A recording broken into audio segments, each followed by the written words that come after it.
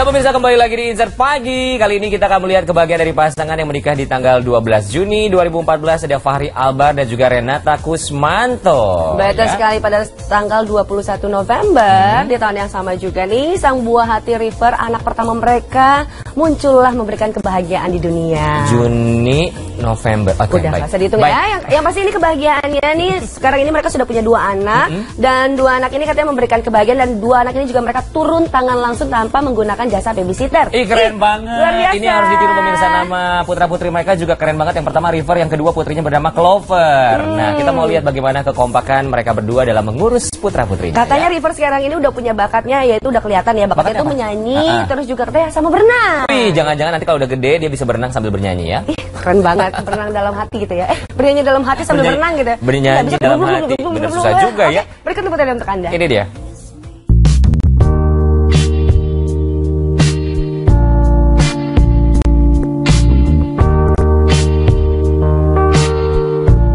Kesibukan dan kerepotan mengurus anak tengah dialami Renata Kusmanto dan Fahri Albar. Pasangan yang telah dikaruniai dua orang anak itu merasa repot lantaran kedua anaknya, River dan Clover, masih terlalu kecil sehingga butuh perhatian ekstra dari mereka. Namun di tengah kesibukan mengurus anak, Fahri dan Renata tidak menampik jika mereka merasakan kebahagiaan tak terhingga sebagai orang tua. Apalagi jika mereka menyaksikan tumbuh kembang anak-anak, khususnya River. Di usianya yang belum genap 2 tahun, River ternyata sudah memiliki bakat bermusik dan senang bermain air seperti berenang. River tuh lagi suka mulai baca-baca huruf-huruf. Kalau apa adiknya kan masih kecil jadi dia masih belajar juga. Dia kayak lagi eksplor itu ya apa main musik drum terus nyanyi tadi lihat mic juga langsung mau nyanyi nyanyi. jadi kaget arahnya di situ habis itu dan dia yang hebatnya sih bisa tahu tempo gitu kan nggak ngarang nggak ngasal cuman kalau drum ya itu tak tok tak ketukan saya tanya sama papa saya waktu itu ini ada konteks ya misalnya cuman saya tanya sama saya? Sih bakat gitu. saya melihat air dikit oh, kadang-kadang ditarik susah. Sesuai namanya kali ya river. Kita sebetulnya eh, nggak ada terlalu mengajarkan apa apa kita ada tahapnya dia pengen ekspor semua dulu kan. Paling kita cuma ngawasin aja. ngawasin itu nanti dia jadi lebih dibebasin sih nggak ada pola terlalu gimana cuman Ya. apa yang nggak boleh kita bilang river hmm,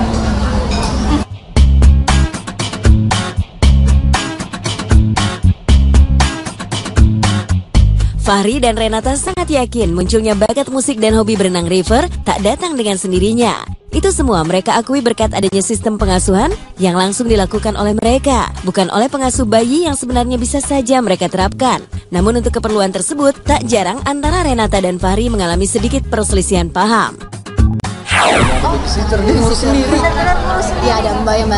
itu sih rada-rada waktu awalnya aku ceritain dikit rada-rada lucu sih. Eh, tiba-tiba kan emang kita mesti ah nggak mau pakai babysitter gitu. dari pertama kali dia lahir. Habis itu kita pindah kita pindah sendiri. Tiba-tiba mungkin di hari berapa dia baby bisa atau gimana. Sayang biasanya saya. Kita sok sendiri. Pantesan aja aku gitu. Ketawa emang enak. Kalau bapaknya urusan main-mainnya aja sebenarnya. semuanya naturally jadi di mana saya ada bareng mereka di situ saya pasti main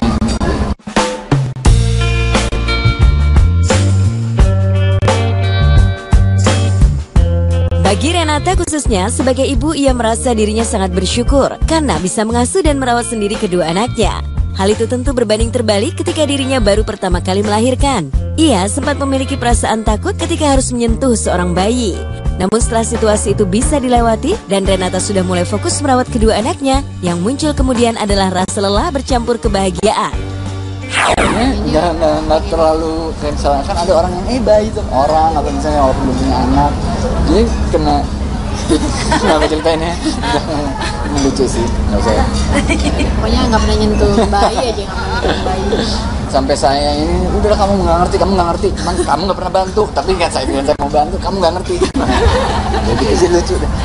Dia sebetulnya ngurus anak dari dia bangun tidur sampai mau tidur 24 jam. Karena yang satu belum bisa ngomong lancar belum belum ngomong apa yang dia mau. Terus adiknya juga masih kecil banget kacau banget sih. Tapi seneng banget sih sebenarnya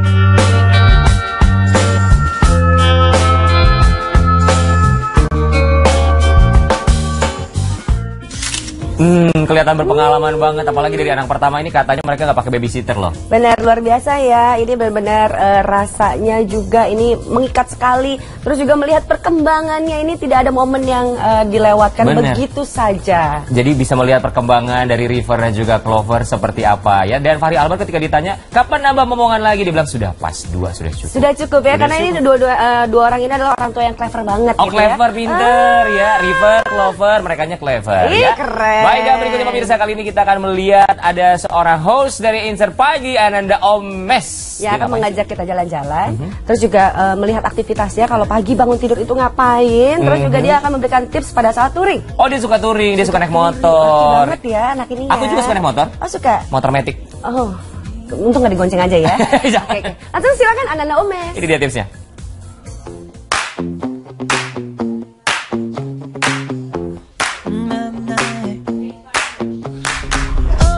Halo, selamat pagi pemirsa. Aduh, pagi-pagi udah ke rumah nih. Namanya silaturahmi ya kan, nggak kenal waktu. Saya kalau pagi-pagi kayak begini nih, apa aktivitasnya bangun pagi, ya kan? Sholat dulu, ketemu anak dulu. Nah, terus nyiapin motor nih, manas-manasin motor karena memang saya dengan motor ini cukup apa ya? Sehari-hari juga saya menggunakan motor gitu. Jadi kalau emang ada waktu, saya ke mana-mana pakai motor saya ini gitu karena memang lebih mirip ke pangkalan ojek kali ya. Ya saya suka sama motor emang dari dulu ya dari saya sekolah sih jujur dari zaman SMP ngeliatin teman-teman yang lain gitu pada pakai motor kayaknya seru gitu. Nah, akhirnya saya bisa baru beli motor itu kuliah lah pakai uang sendiri kerja akhirnya saya bisa beli motor sendiri dan sampai sekarang motornya masih ada saya simpan di Bandung. Nah selain suka motor untuk sehari-hari saya juga seneng apa ya touring karena menurut saya motoran touring itu adalah kayak meditasi kalau buat saya. Setiap orang kan punya caranya masing-masing. Nah tapi yang paling penting nih percaya atau enggak karena saya touring pasti berangkatnya tengah malam. Saya tuh kalau touring jalan sendiri ke Surabaya ke Bali jalan tuh jam 1 pagi jam 2 pagi. Nah biasanya saya yang paling penting itu kan sarapan. Nah, yang tahu sarapan? Sarapan apa? Ayo ikut saya. Let's go. Itulah aktivitas khas Insert pagi Ananda Ome saat ditemui di kediamannya baru-baru ini.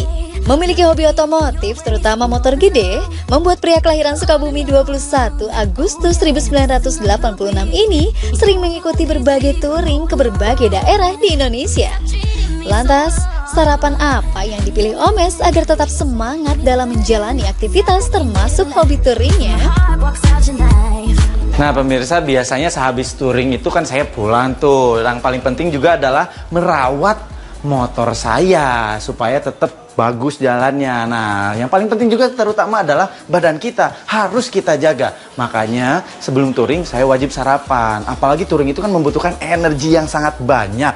Makanya saya harus selalu sarapan yang sehat. Tapi sebetulnya sih sarapan yang sehat itu nggak cuman pas mau touring Tapi harus setiap saat. Karena Hmm, sarapan yang sehat itu penting banget supaya kita nggak lemes, semangat terus setiap hari. Apalagi kalau sarapannya yang sehat, seimbang, bergizi, praktis, dan yang paling penting enak. Hmm. Ya pemirsa kembali lagi di Insert Pagi Kali ini kita akan melihat kebahagiaan dari seorang selebriti yang merupakan istri dari Doni Amaldi Dia adalah Soraya Larasati Nah betul sekali ini ada kebahagiaan di mana sang buah hati Dava ini juga Mhm. katanya sudah lebih pintar. Oh oke perkembangannya jadi kita akan lihat Perkembangannya ya lebih baik. Oh, Oke umurnya gitu. tiga tahun Tiga tahun. Dan katanya udah banyak nanya nih pemirsa maklum anak kecil Betul. Kritis gitu maksudnya Sangat ya kritis dan sampai-sampai nih uh, Soraya Larasati juga bingung sebenarnya. Kadang harus jawab apa gitu. Karena terlalu bingung? Kritis anak-anak sekarang itu. Dia kan ibunya setidaknya harus bisa menjawab Tapi kita juga penasaran apakah dengan anaknya Dava ini tiga tahun yang semakin kritis Apakah Soraya Larasati mau nambah momongan lagi Ya kan kita nggak pernah tahu lah ngurus sendiri nggak sih dia Eh, kayaknya mungkin dibantu-bantu kali ya. Mungkin. Dibantu sama suaminya. Atau juga dibantu sama tetangganya Oke nitipin anak. berikut liputannya untuk Anda. Ini dia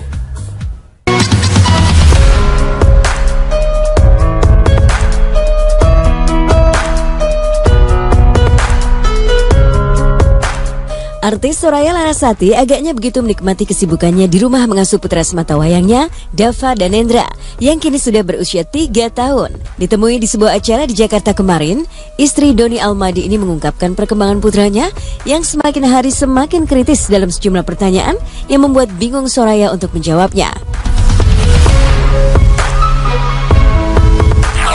sekarang udah tiga tahun justru sekarang ini lagi usia yang aku bilang sih eh, beda aktifnya. Kalau dulu kan aktifnya lo cuman mungkin lari-lari atau apa oh sekarang udah aktif sekaligus udah bisa komen udah bisa komplain udah bisa banyak nanya. Yang kadang-kadang pertanyaannya sih suka yang bingungin gitu kan. Misalkan apa ya yang paling dia suka yang eh, ngebingungin. Kok eh, apa namanya bisa ada dede bayi? Itu udah mulai nanya tuh. Karena kan teman-teman banyak yang hamil gitu. Kok itu selalu ada ada bisa ada orang di dalam perut kayak gitu gitu yang yang kayak gitu gitu kan emang kita harus bener-bener kasih taunya yang informatifnya tapi yang jangan sampai salah pengertian nih yang kayak gitu gitu kok pak mau dong punya dede gitu. Bisa nggak dedenya kembar? Bisa pilih nggak gitu kayak gitu gitu hal-hal kayak gitulah yang maksudnya eh, apa ya namanya unik lah gitu pertanyaannya. Kadang-kadang kritisnya tuh yang kok cepet banget sih? Kayak aku nanya kayak gitu waktu SD di zaman dulu. Sekarang umur 3 udah bisa nanya. Mungkin karena lihat TV lihat orang gitu.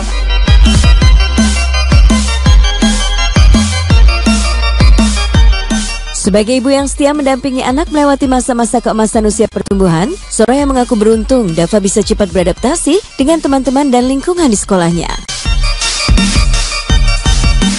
Sejak sekolah sih sebenarnya. Kan mungkin kalau sekolah itu kan biarpun bersosialisasi banyak ilmu-ilmu baru terus kan mungkin eh, orang-orang kan punya latar keluarga beda-beda. Jadi dia yang begini dia yang begini dia yang karakter yang beda-beda bikin dia jadi kayak mak- makin kritis gitu kalau aku bilang sih. Makin penasaran. Jadi aku bilang bagus banget sih sekolah dini gitu.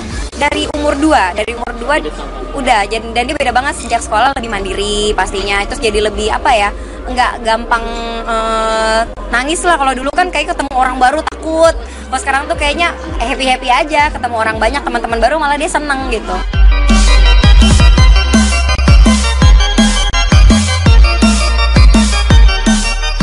Mengingat Dava kini sudah berusia 3 tahun, Soraya mulai merencanakan target untuk menambah momongan. Harapan ini pun sejalan dengan keinginan Dava yang merasa kesepian di rumah dan meminta adik-adiknya kembar kelak. Iya, dia sendiri emang pengen-pengen adek, tapi dia mintanya requestnya kembar. Nah gimana ceritanya nggak ada turunan kembar kan?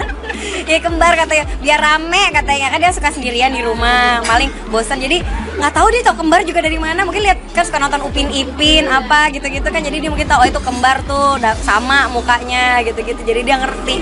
Ya gitu-gitu aku kadang-kadang suka bingung. Padahal tontonan di rumah juga tonton anak-anak tapi anak sekarang cepet aja gitu nangkepnya terus kritis kritis banget gitu. Program sih sebenarnya aku sih eh, sedapatnya aja ya. Tapi memang udah pengen sih kalau emang dap dikasih eh, punya adik mau. Cuman nggak dikhususin nih harus anak perempuan atau harus kembar. Ya sedapatnya aja kalau memang taunya dapetnya cepet abis ini ya udah gitu. Santai eh. nggak ada usaha malah santai. Soalnya aku pikir gini kalau di program-program ke dokter apa segala macam kan kebetulan juga dapat dafa kan waktu itu gampang kayaknya ya alhamdulillah eh, maksudnya nggak nggak susah gitu kan ya udahlah jalanin aja kalau takutnya ntar malah dilihat-liatin program taunya nggak jadi malah kecewa udah dibiarin aja dapat sedapatnya aja gitu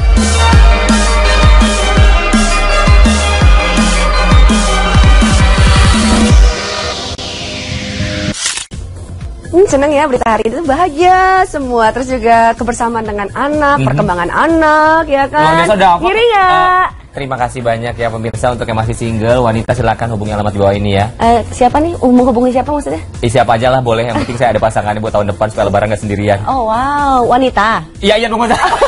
Nah, ini ya maksudnya tadi menawarkan diri lagi promosi Bu- iya, diri. buat wanita, wanita ya, Oh, wanita. oke, Oke, oke. baik berikutnya pemirsa. Kalau tadi ada seorang Soraya Larasati, kali ini kita akan melihat ada pasangan yang sekarang lagi menghitung jam, lagi deg-degan, sebentar lagi mau akad nikah dan juga melaksanakan resepsi pernikahannya. Nah kita bicara mengenai Gilang Dirja dan juga eh, sang istri, sang calon istri ya Adis. Nah katanya kemarin juga Adis menyekat. Jadi ini kan semacam apa ya, mendoakan juga kakek kakeknya barangkali ya, termasuk juga eh, minta izin atau juga kalau nyekar biasanya mendoakan kan? Iya betul betul mendoakan ya. Emang gak pernah nyekat bapak? Bapak saya bingung loh pak bertanya. Tapi ini katanya juga mendapatkan info begitu ditanya sama Adis benar ya hari ini akan menikah.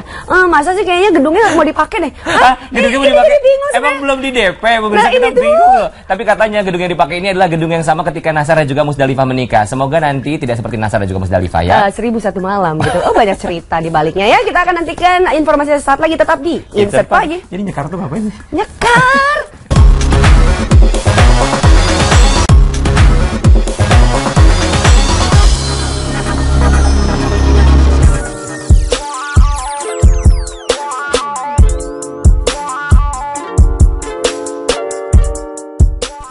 Tidak ada aral melintang, sore nanti dijadwalkan Gilang Dirga dan Adis Tiversa melakukan prosesi ijab kabul pernikahan mereka.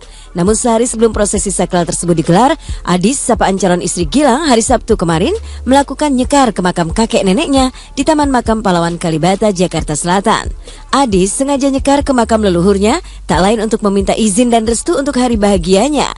Adis didampingi kedua orang tua dan adik-adiknya ketika melakukan nyekar Sabtu kemarin. Hari ini itu eh, rencananya mau ziarah dulu ke makam opa oma. Sebenarnya bulan kemarin udah sih ya ya. Cuman ini kayak apa mah syarat aja ya. Itu soalnya kan udah hamil satu gitu. Minta restu lah secara nggak langsung. Eh, kemarin di Adha soalnya nggak sempat ke sini karena sibuk ngurusin pernikahan. Jadi ya udah sekalian di rapel hari ini. Jadi tadi malam kan ada rekaman dulu sampai jam 4 malam, sampai jam 4 pagi. Terus bangun siang, bangun-bangun ternyata masih ada yang harus diurusin. Tadi juga masih labil ya Maya, jadi ke eh, eh, jadi ke makam atau enggak. Makanya teman-teman juga agak lama kan aku responnya. ya itu karena masih bingung, tapi akhirnya ya udah sekalian kita jalan ke hotel, mampir dulu ke sini gitu.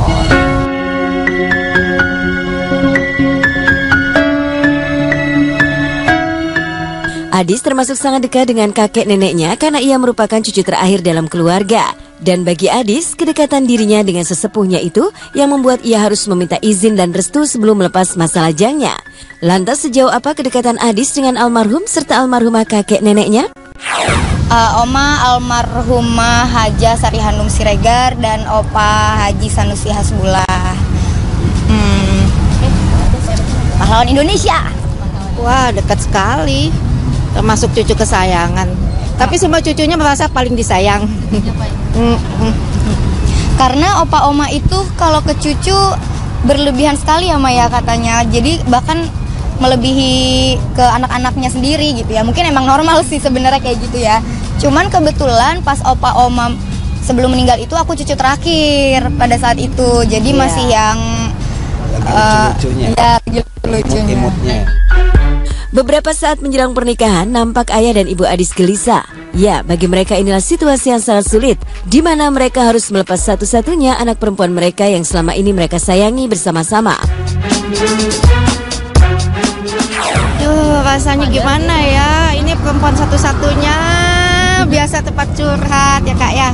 Kan rumahnya dekat. Biasanya kalau pulang, mama aku dicerita loh ma gini nih ya. Udah, nanti dia ke kamar mamanya atau pamannya nyamperin dia. Nggak tahu nih untuk selanjutnya gimana. kan rumahnya deket. sengaja deketin ya. Mm-mm sih. Mas, Aduh nangisnya disimpan buat besok aja. Ini sengaja dari kemarin nggak bahas-bahas itu. Ayah deh, ayah. Ayah nih, ayah harus ngomong. Kalau saya jagoannya dia. Jadi kalau dia ada masalah apa-apa pasti ngadunya ke saya gitu. Udah sunnah Rasulullah ya. Dan saya pasti restui. Yang penting saya yakin Gilang adalah laki-laki yang baik. Bisa restu. Saya bagaimanapun juga hidup harus begitu. Ini malah kita menjalankan ibadah kan eh, lebih cepat, lebih baik. Kalau memang udah saling suka, ya kita akan restui.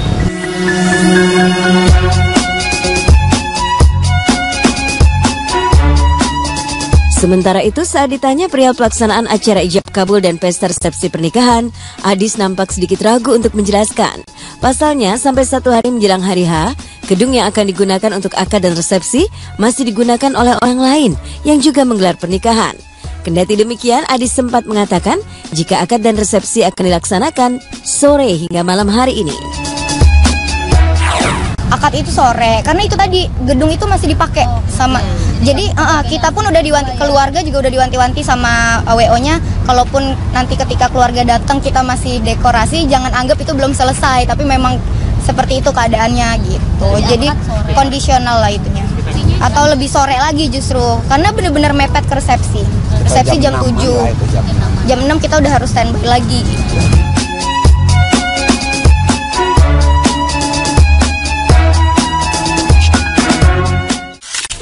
Oh, hmm. tapi memang benar pernikahan itu ada. Benar nih kak, kok mereka? Ini. Ya, pokoknya buat pemirsa kalau misalnya diundang, eh kita diundang nggak sih?